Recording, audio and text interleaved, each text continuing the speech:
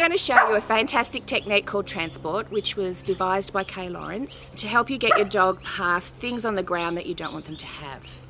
It's super easy to teach, but once again, it communicates a clear cue to your pups when you're going to move them without any freedom. So with your dog either on a collar or a harness, I tend to walk my dogs on a harness, walk down the lead, making sure she can't keep moving out in front.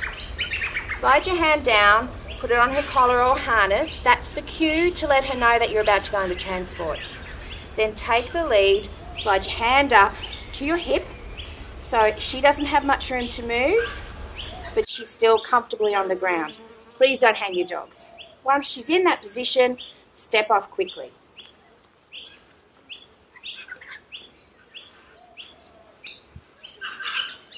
Good girl. When you finish transport, which you never do for very long, slide your hand back down the lead to the collar, tell her she's a good girl and she can go and have a sniff. And then you're done. So you don't use transport for very long. You set a nice quick pace. They are all cues that you're transporting. And if you do this often enough, your dog really picks up and understands that you're about to do it.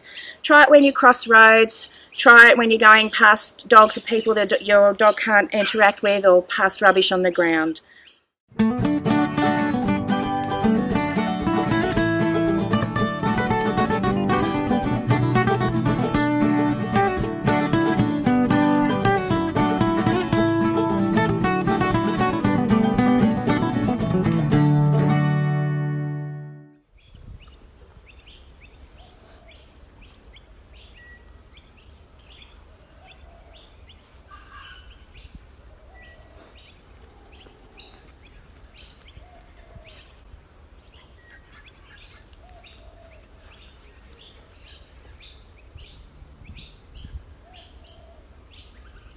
Go.